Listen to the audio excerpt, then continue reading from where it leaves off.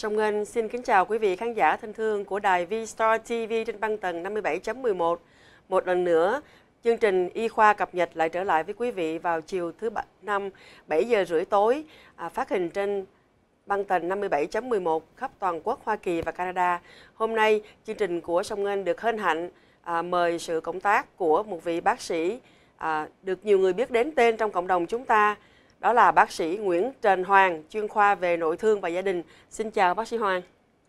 Tôi là bác sĩ Nguyễn Trần Hoàng, xin mến chào quý khán thính giả và Song Ngân. Vâng, thì à, chương trình ngày hôm nay đó là chúng ta sẽ đặc biệt nói về đề tài bệnh cao huyết áp là một cái đề tài mà bác sĩ Hoàng gặp rất nhiều bệnh nhân mỗi ngày gặp vài ba chục bệnh nhân trong vòng hơn mười mấy năm vừa qua thì chắc chắn bác sĩ Trần Hoàng sẽ có rất nhiều cái vấn đề à, à, quan trọng cần thiết để mà chia sẻ cho quý vị à, về cái bệnh cao huyết áp.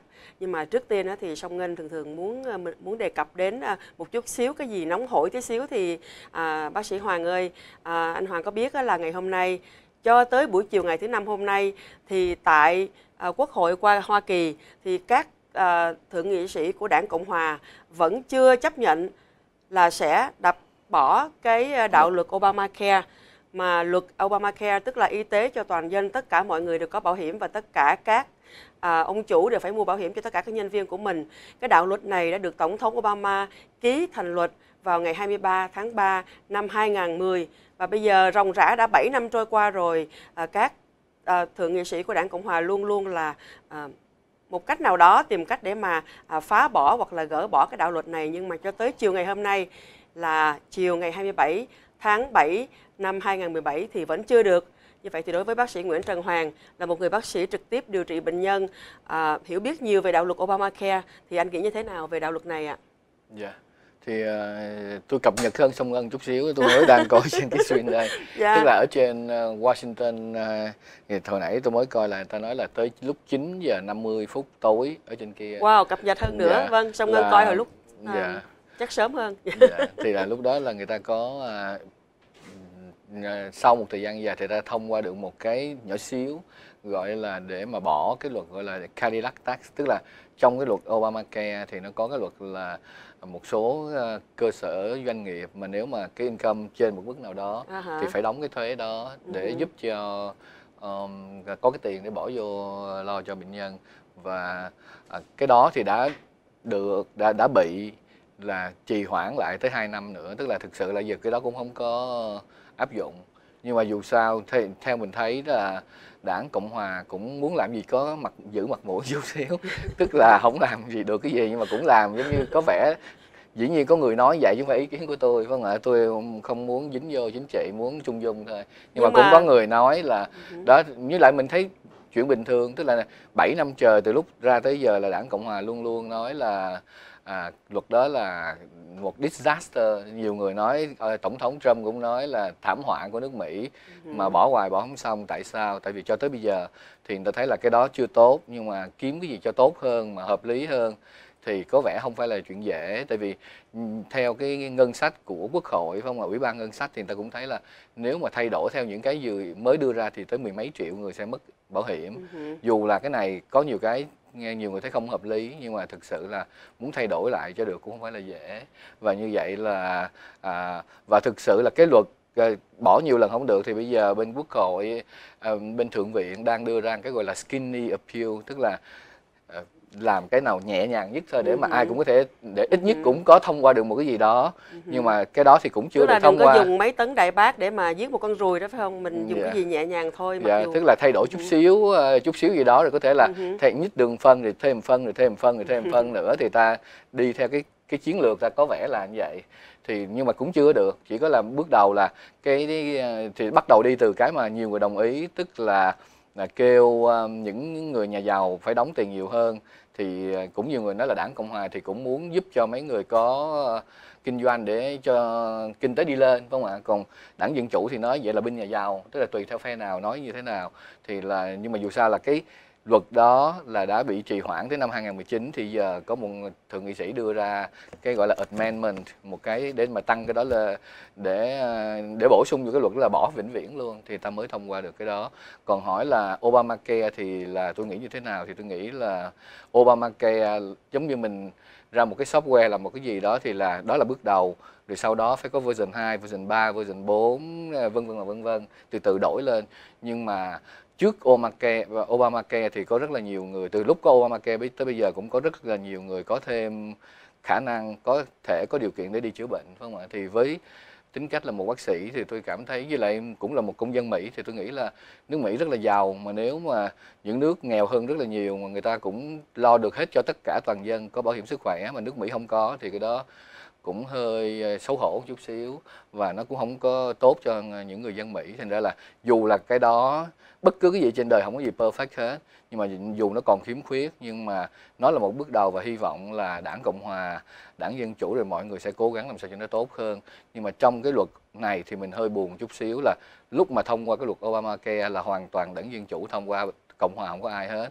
Thì lúc giờ đổi đổi lại thì là cũng là có vẻ là đảng phái bè phái hơi nhiều một chút xíu và à, trong một cái quan trọng nhất mà mình thấy rõ ràng cái điểm yếu của nước Mỹ bây giờ là cái tệ bè bè phái vâng. đảng phái thì uh, hơi buồn chuyện đó còn chuyện Obamacare thì tôi nghĩ là nó cần thiết nhưng mà có những cái gì mà có thể sửa đổi được thì hy vọng mình sẽ tìm cách sửa đổi được và cho tới bây giờ mình thấy là đã bỏ bắt bao nhiêu công sức mà sửa chưa được chứng tỏ là cái đó không phải chuyện dễ nhưng mà thực sự nếu hai bên cùng có một cái ờ, thiện, thiện chí dạ, ừ. để ngồi lại với nhau để nói chuyện thực sự là để nghĩ cho đất nước nghĩ cho người dân thì hy vọng nó sẽ đỡ hơn vâng. nhưng mà cái chuyện mà thực sự À, thống nhất lại cơ bộ bây giờ hay hơi bị khó một chút. Vâng. Dạ. thì quý vị đang theo dõi phần nói chuyện của bác sĩ Nguyễn Trần Hoàng là bác sĩ về nội khoa tổng quát à, với hai phòng mạch à, khá đông bệnh nhân và số điện thoại của bác sĩ Nguyễn Trần Hoàng để quý vị liên lạc là 714 531 7930 531 7930 à, anh Hoàng hôm nay là ngày đầu tiên anh Hoàng đến với y khoa cập nhật à, của Sông Ngân. Thì anh Hoàng cũng cho quý vị khán giả biết thêm chút xíu về cái gọi là credential của bác sĩ Nguyễn Trần Hoàng được hay không ạ? Dạ, thì tôi là uh, tên là Nguyễn Trần Hoàng.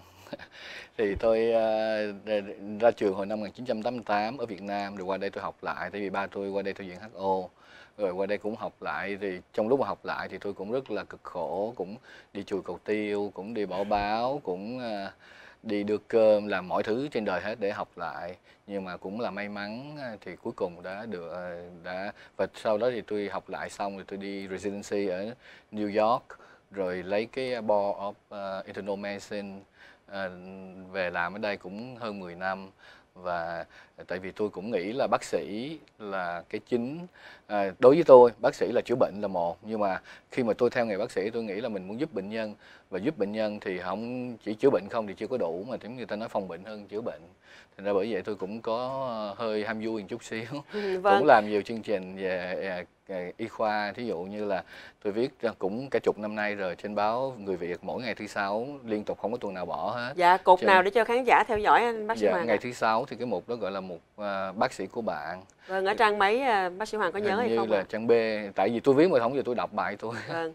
không có giờ đọc hình như cuối của trang a hay sao á à, hay là hồi xưa đó là trang b như vậy là phần chót của trang a vâng. rồi có trên báo việt thai thì là cũng có một là điểm tin sức khỏe cũng gần chục năm rồi sau đó là ừ, tôi cũng có một cái chương trình trên đài 106.3 mỗi sáng chủ nhật từ 6 à, giờ tới 9 giờ thì có nói đủ thứ hết về giáo dục, về luật pháp, về thuốc men rồi mỗi tuần sách cái đờn lên từng tân từng tân nghêu ngao mấy cái bài mình viết hoặc là những người khác viết à, để chia sẻ suy nghĩ với mình. Rồi ngoài ra nữa cũng có à, làm trên tại vì không có à, có duyên tới với đài này hơi chậm một chút thành ra trước đó tôi cũng có làm trên đài 56.5 mỗi buổi chiều thứ sáu từ ba rưỡi tới bốn rưỡi quý khán thính giả có thể gọi trực tiếp giống như bây giờ mình cũng có thể gọi trực tiếp vô để mà hỏi vâng, rồi trên à, đài khác nữa là cũng vâng, nửa tiếng đồng hồ. Tức là, vâng, thì, là à, hơi bị ham vui làm nhiều chuyện chút không thì bác sĩ Nguyễn Trần Hoàng thì song ngân à, được cơ hội là à, quen biết bác sĩ Hoàng, Nguyễn Trần Hoàng từ ngày bác sĩ mới qua Mỹ. Thành ra là đối với bác sĩ Nguyễn Trần Hoàng song ngân có một cái mối thâm tình thành ra hơi là à, thiên vị chút xíu. Thì à, thật sự thì quý vị biết là bác sĩ Nguyễn Trần Hoàng với hai phòng mạch rất đông bệnh nhân song ngân phải nói là quý vị bệnh nhân đến không biết vì lý do gì mà rất là yêu mến bác sĩ Nguyễn Trần Hoàng và đã đến thì không bỏ đi đâu hết. Và một trong những người đó đó là à, thân phụ của Song Ngân theo bác sĩ Nguyễn Trần Hoàng đã hơn 10 năm nay. Thì thôi bây giờ chúng ta đi ngay vào à, chương trình à, cập nhật y tế hôm nay với đề tài cao huyết áp. À, thì bác sĩ Hoàng ơi hôm nay mình có cái trong cái bệnh cao huyết áp mình có cái um, thuốc gì mới hay là một cái phương cách điều trị gì mới để gửi đến cho uh, đồng hương hay không và trong khi bác Nguyễn bác sĩ Nguyễn Trần Hoàng nói thì hôm nay quý vị có thể gọi vào cho Sông Ngân với số 714 943 4526 714 943 4526 để đặt câu hỏi trực tiếp với bác sĩ Nguyễn Trần Hoàng ở trên on air. Xin cảm ơn quý vị. Dạ. Yeah thì trong lúc ờ, nếu mà khán thính giả gọi vô tôi sẽ ưu tiên trả lời cho khán thính giả thì nói chung bệnh cao huyết áp ta đã gọi nói là tên giết người thầm lặng tức là trong tất cả những bệnh thì là bệnh này cũng như một số bệnh tim mạch khác là làm cho chết người nhiều nhất ở trên toàn thế giới nhất là những nước đã phát triển rồi tức là những nước khá lên chút xíu như Mỹ châu Âu vân vân. Thì là à, người Việt Nam mình hay nói vui vui tức là ba cao một thấp không ạ? Tới tuổi nào đó thì là ai cũng có đại đa số. Nếu mình không có ba cao một thấp là mình không có theo kịp phong trào. Là không bình ba, thường à? Dạ, tức là không giống là mình bị hết. lạc loài à? Dạ mình không giống ai hết. Tức là một là bị cao huyết áp nhưng mà người bình thường mình gọi là cao máu thứ nhì gọi là cao đường gọi là tiểu đường phải không ạ? Uh-huh. cái thứ ba là cao cholesterol còn thấp là thấp khớp nên mình nói thấp khớp là thực sự không phải là bị thấp mà nó đau mà Việt Nam mình gọi là thấp thôi. Còn bệnh bên mình toàn là bệnh cao tức là qua đây dư thừa quá là cái gì cũng dư dư dư, dư hết. Thành ra cũng có nhiều người hỏi tôi là uống thuốc bổ có tốt không? Thì là tùy theo nghiên cứu, nhưng mà cũng có nghiên cứu, một số nghiên cứu bên châu Âu ta thấy là phụ nữ mà lớn tuổi một chút, uống thuốc bổ là sẽ chết sớm hơn là mấy người không uống thuốc bổ. Tại sao? Tại vì ta cũng không có làm coi nguyên nhân tại sao, nhưng mà có vẻ là giống như là nó cao gì nó cũng cao như bong bóng mà nó phình ra quá rồi nó đầy hơi quá rồi, phải không ạ? Mình bơm vô thêm nữa thì nó nó bụp luôn.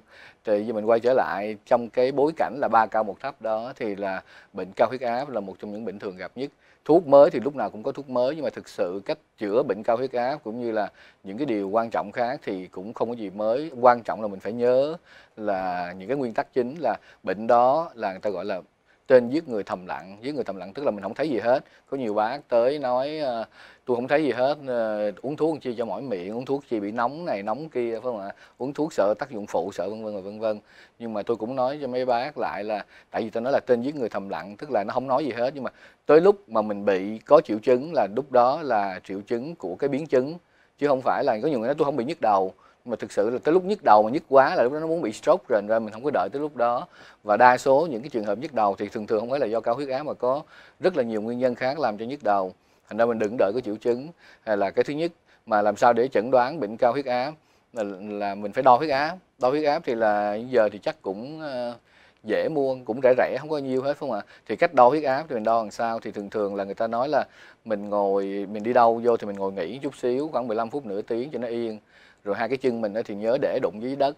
Rồi cái tay mình gác lên cái cái cái thành gì đó để cho cái này nó ngang với cái tim của mình. Ngang với cái tim của mình rồi mình đo thì đo bên đây rồi đo bên đây. Rồi nếu mình đo hai bên mình thấy nó lệch quá 5 chấm thì lúc đó là mình nên đo lại. Và nếu mà mình tới bác sĩ lần đầu tiên thì bác sĩ nên đo hai lần. À, à, cho nghỉ chút coi làm sao. Thì nếu mà tại vì nhiều khi mới tới một lần mà nó hơi cao cao một chút xíu thì chưa chắc là đúng thì có thể bác sĩ sẽ hẹn lại vài ba tuần tới để đo lại nếu cao nữa thì mới chữa bệnh cao huyết áp. Còn nếu mình tới một lần đầu mà nó cao quá cao quá tức là nó khoảng trăm sáu, trăm tám trở lên thì phải uống thuốc liền. Rồi, thì số như thế nào gọi là cao huyết áp? Thì khi mình đo trên cái máy bình thường mình hay mua ở ngoài á, thì là nó có là cái số ở trên, số giữa có ba số không ạ? Thì số ở trên gọi là huyết áp tâm thu, số kế tiếp gọi là huyết áp tâm trương, rồi số dưới cùng gọi là cái cái chữ pi là cái pulse, là cái mạch của mình. Thì cái số ở trên thì nó nên từ 140 trở xuống. Rồi số thứ nhì là gọi là huyết áp tâm trương tâm thu là sao? Tức là cái tim mình nó nằm bên ờ, tay trái là ở đây nó bóp bóp. Thì lúc mà tim nó bóp vô thì là là mình đo cái cái áp lực lên cái thành mạch máu của mình. Lúc đó là như thế nào? Thì lúc đó là gọi là huyết áp tâm thu. Rồi lúc mà nó nhả ra để máu nó chạy được tim á, thì là lúc đó là mình đo ngay cái chỗ đó thì gọi là tâm trương thì tâm thu là trăm tư tâm trương là 90 thì uh, rồi cái số thứ ba là cái mạch cái mạch của mình là chung là thường thường nó khoảng từ 60 tới 99 dù là hơi thấp một chút hơi cao một chút thì cũng không sao. Thì nếu mà mình đụng thí dụ như là 140 trên à, uh, 70 tức là một số trên là đụng vô trăm tư thì cũng gọi là cao huyết áp. Hoặc là ví dụ số trên là chưa tới trăm tư trăm ba mươi chẳng hạn, mà số dưới là 90 thì cũng gọi là cao huyết áp. Dĩ nhiên trăm bốn, trên trăm tư hoặc là trên 90 thì chắc chắn là cao rồi, phải không ạ? Thì đó là gọi là cao huyết áp. Tức là chỉ cần một trong hai số nó cao thì gọi là cao huyết áp. Rồi nếu, đó là nếu mình không bị bệnh gì khác hết, còn nếu mình bị tiểu đường hay là nếu mình bị bệnh thận thì cái số đó nó khoảng 100 30 trên 85 thì nó sẽ tốt hơn là để tới cao cho đó. Tức là người bình thường thì như vậy, còn nếu mình bị thận thì dù là huyết áp mình chưa tới trăm tư, khoảng trăm ba thì bác sĩ cũng cho mình thuốc. Tại sao? Tại vì khi mình bị thận rồi hay là mình bị tiểu đường rồi thì nó sẽ phá vô những cái lục phủ ngũ tạng của mình, nhất là cái thận của mình. Thành ra là mình nên chữa sớm hơn chút xíu. Và khi mà mình uống thuốc thì ờ, mình à, nhớ là uống thuốc là nhờ thuốc thì nó mới xuống chứ không phải là tự nhiên nó xuống đâu. Nhiều bác thấy uống vô thấy xuống không uống không uống thì nó sẽ nhảy lên lại. À, thì song ngân hỏi bác sĩ hoàng đó là cái bệnh cao huyết áp à, là rất nhiều người trong chúng ta biết đến. À, nhưng mà song ngân cũng gặp nhiều người nhiều bệnh nhân nói rằng uống thuốc nó độc hại quá. Thôi tôi cũng không thích uống thuốc nữa. Thì thôi cái huyết áp của tôi chắc nó cũng vừa vừa phải phải nó cũng cũng không có cao lắm mà cũng có ngày nó cao có ngày nó không như vậy thì bác sĩ sẽ cho à, quý vị như thế như vậy một lời khuyên như thế nào ạ? Có cần phải uống thuốc hay không? Tại sao phải uống thuốc? Mình không uống thuốc được không?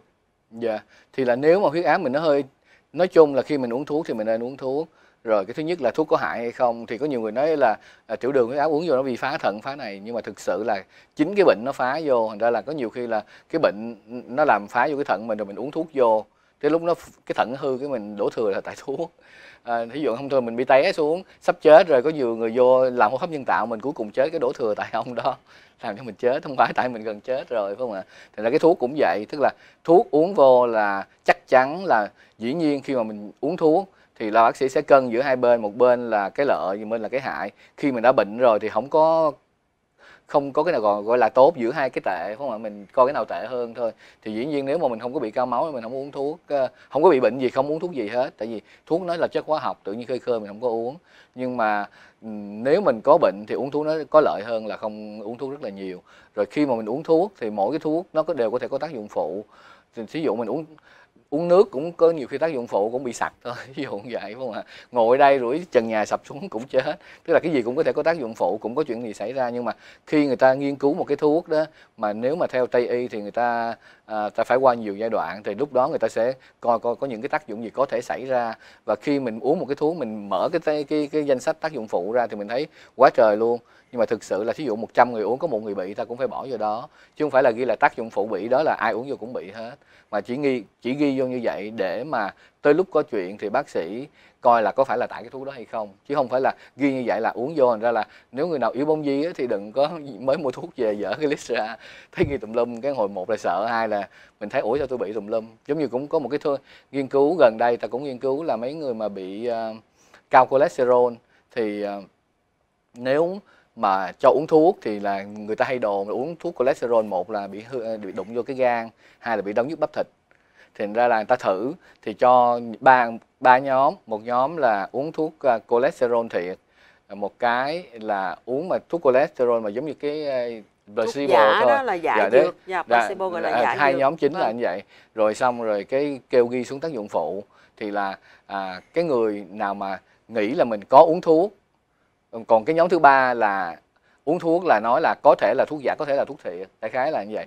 Thì người nào đinh ninh là mình có uống thuốc cholesterol thì là cái tỷ lệ mà nói bị đau nhức bắp thịt gì đó là hai bên cũng gần như bằng ngang nhau. Tức là tại vì người đó nghĩ là tôi uống thuốc này thuốc này có thể làm cho bị cái này. Giống như nói là ra ngõ đằng ra, ra ngõ gặp gái là xui ra gặp bà nào cái mà nhất là bà nào mình không ưa, cái cái ngồi ra cái thế nào cũng nghĩ chuyện này chuyện kia xui.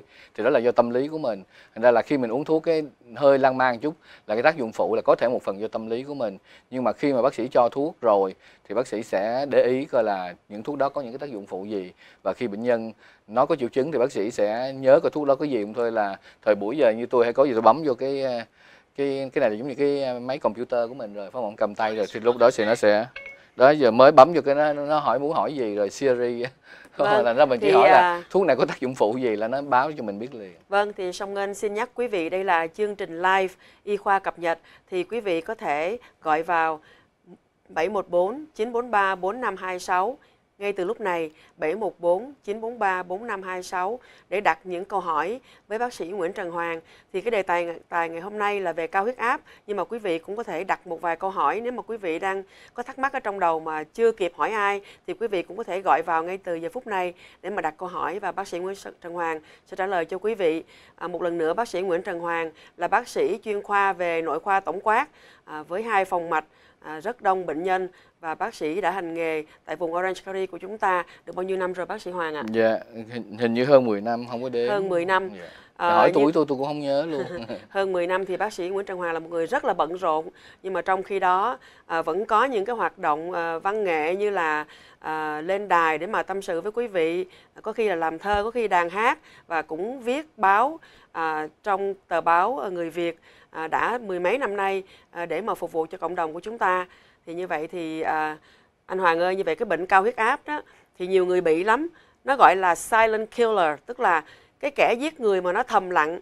Nếu như mình lên TV mình nói về cái bệnh gì như là tuần rồi xong nên nói với bác sĩ Tú về đề tài viêm gan siêu vi ABC thì rất là nhiều người gọi hỏi vô là vì nó nó bệnh một cái là nó nguy hiểm liền viêm gan B, viêm gan C và sơ gan. Còn cái cao huyết áp á, người nào cũng bị hết không dám nói nhưng mà cũng có thể là song ngân và anh hoàng đều bị hết. Thì người ta cứ coi thường nó cứ nghĩ nó là không có sao đâu mình cứ uống thuốc là hết. Chính vì lẽ lý do đó mà cái bệnh cao huyết áp được gọi là cái bệnh kẻ giết người thầm lặng. Xong xin, xin, xin nhận câu hỏi đầu tiên ạ. À. hello? Dạ. Dạ. Xin mời chị đặt câu hỏi ạ. à dạ xin mời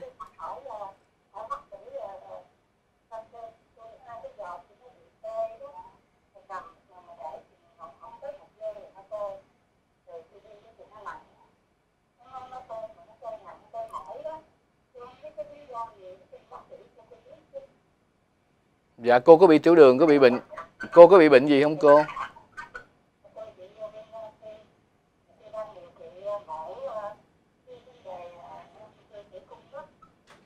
Dạ, dạ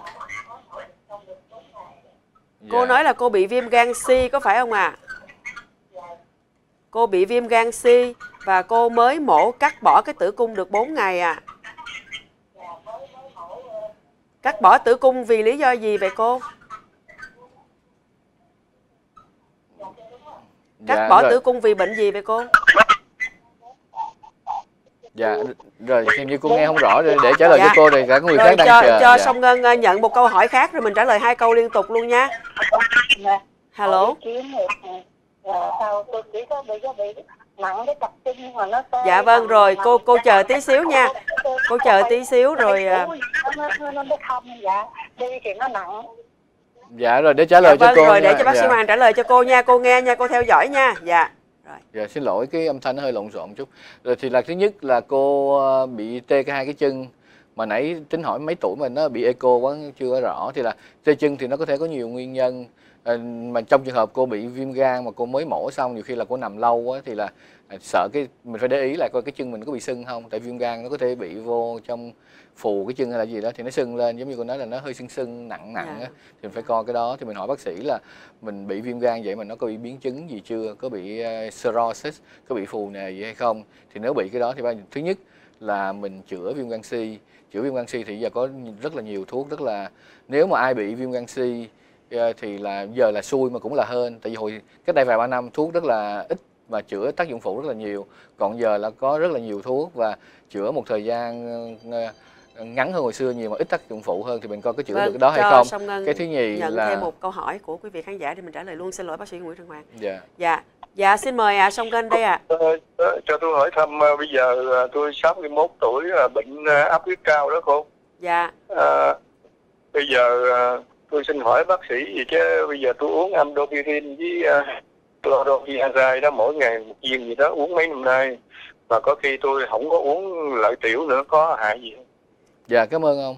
Dạ rồi cảm ơn. À, chú theo dõi chương trình bác sĩ Hoàng trả lời cho chú bây giờ nha. Bác sĩ Hoàng cần hỏi lại không? Dạ dạ được rồi. Dạ, dạ. bác sĩ Hoàng trả lời bây giờ nha, chú theo dõi nha. Dạ vâng cảm ơn chú. Dạ. dạ tại cũng gần hết giờ ra trả lời ngắn gọn. Cái thứ nhất là cô hồi nãy hỏi là về cái chân nó bị tê, chân bị tê mà nếu mình bị mới mổ xong mình nằm lâu thì cái đầu tiên hay là bác sĩ phải coi coi là mạch máu mình có bị ngạt gì hay không. Tại nằm lâu trong bệnh viện thì theo đúng là người ta phải có những cái máy ta bơm bơm với cái chân của mình đó tại vì mình nằm lâu thì nó dễ bị nó gọi là PAD hay là deep venous thrombosis tức là tùy theo nó nghẹt động mạch là tĩnh mạch. Thì phải coi cái đó nếu mà tê nhiều phải gặp bác sĩ liền coi nó có nghẹt hay không.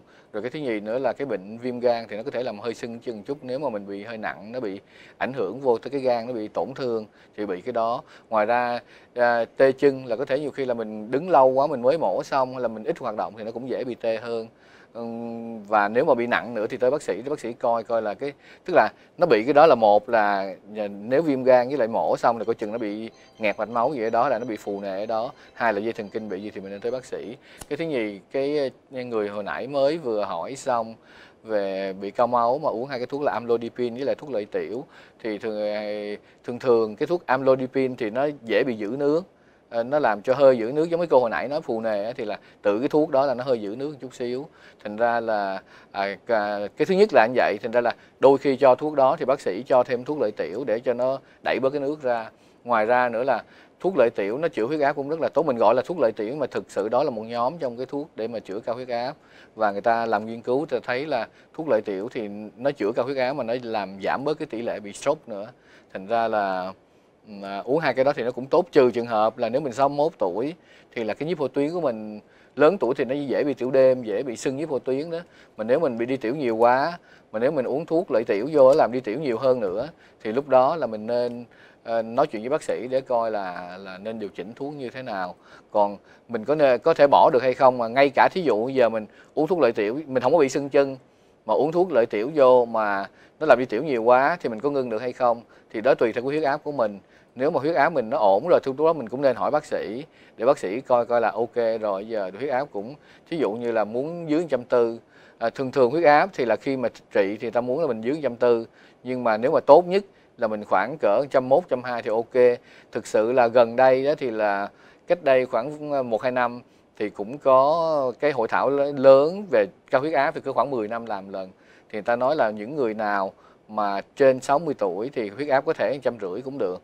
Nhưng mà sau cái cái đó thì ta lại thấy là thực sự trước cái đó thì là à, ta nói là giữ trăm tư là tốt. Dù là nói trăm tư là uống thuốc rồi nhưng mà trong cái cái đợt đó đó thì ta nói là có thể tuổi hơi lớn một chút một trăm rưỡi cũng được. Nhưng mà sau đó thì có nhiều nghiên cứu ta lại thấy là giữ như hồi xưa một trăm tư thì nó an toàn hơn.